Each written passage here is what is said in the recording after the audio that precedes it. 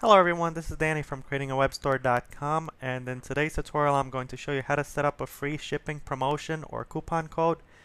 Note for those of you that are wondering whether you should enable the free shipping method in uh, system configuration, this is not uh, needed. In fact, if you uh, enable that method, you will basically enable uh, free shipping throughout your entire store uh, even if uh, the promotion isn't active.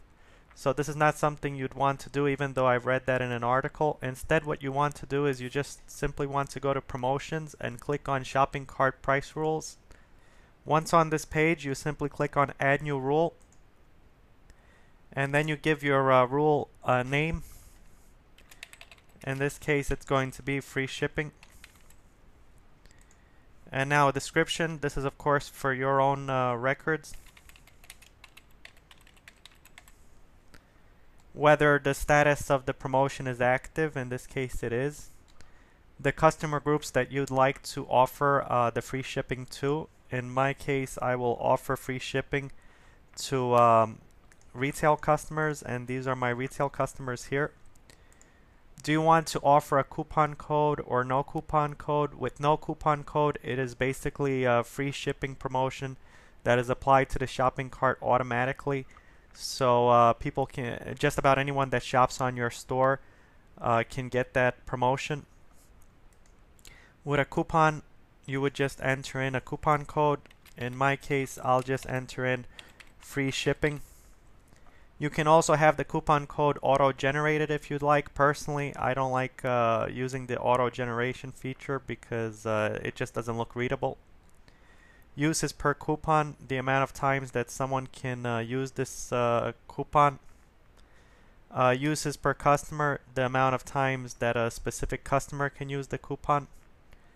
Uh, date, basically the date that you would like uh, the coupon to uh, start being active.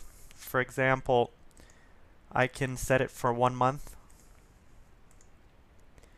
and uh, the priority, this is again for your information, if you're running uh, more than uh, one promotion, and if you'd like certain promotions to be uh, shown at the top and others at the bottom, you would enter in a low number for the ones that you'd like to show up at the top, and a higher number for those that you'd like to show up at the bottom.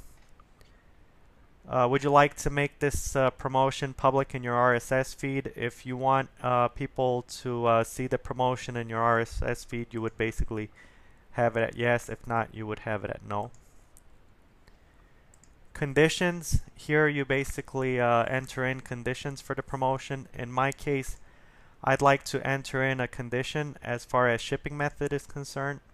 So I simply select shipping method and then I click on these dots here and I select the shipping method that I would like free shipping to be applied to. In this case, I would like it to be applied to flat rate fixed. And then I can also limit um, to a specific country. For example, I only want to allow free shipping in the United States. So again, I click on these dots and I select United States from the list.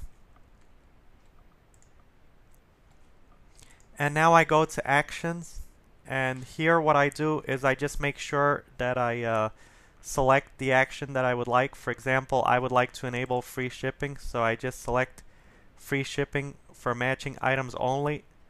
Now if I'd like to uh, limit free shipping to certain uh, conditions what I do here is I add other conditions as far as uh, the price in cart quantity in cart or uh, I can even set um, category or I can even uh, specify a specific item that I would like to offer free shipping on.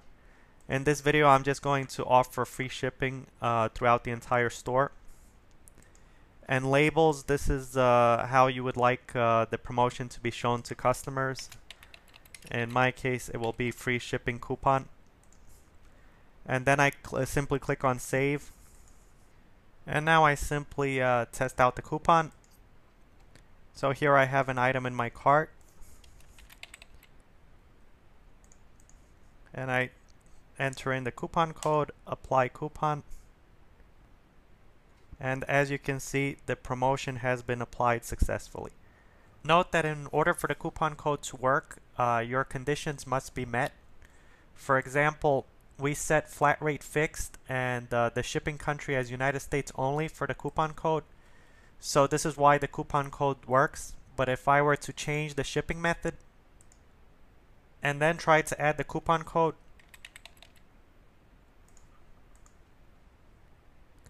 I would basically get an error that states uh, that the free shipping coupon is uh, not valid.